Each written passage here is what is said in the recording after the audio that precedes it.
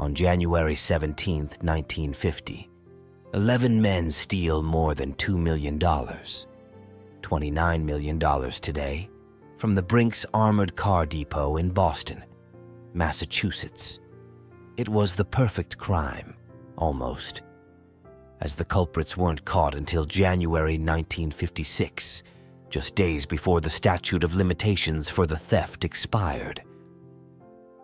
The robbery's mastermind was Anthony Fats Pino, a career criminal who recruited a group of 10 other men to stake out the depot for 18 months to figure out when it held the most money.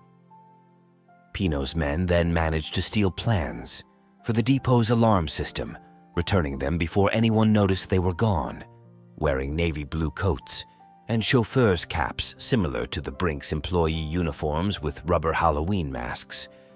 The thieves entered the depot with copied keys, surprising and tying up several employees inside the company's counting room.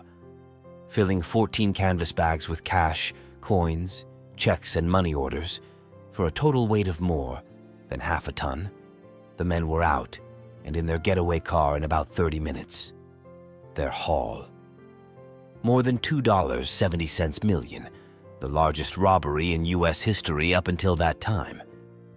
No one was hurt in the robbery, and the thieves left virtually no clues, aside from the rope used to tie the employees and one of the chauffeur's caps. The gang promised to stay out of trouble and not touch the money for six years in order for the statute of limitations to run out.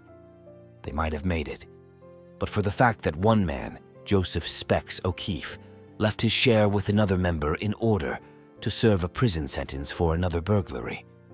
While in jail, O'Keefe wrote bitterly to his cohorts demanding money and hinting he might talk. The group sent a hitman to kill O'Keefe, but he was caught before completing his task. The wounded O'Keefe made a deal with the FBI to testify against his fellow robbers. Eight of the Brink's robbers were caught, convicted, and given life sentences. Two more died before they could go to trial.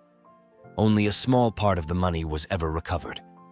The rest is fabled to be hidden in the hills north of Grand Rapids, Minnesota.